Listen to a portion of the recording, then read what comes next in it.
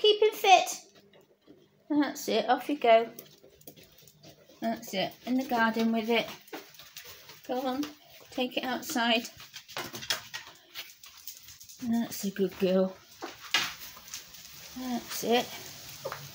Outside exercise. Yeah. Well done.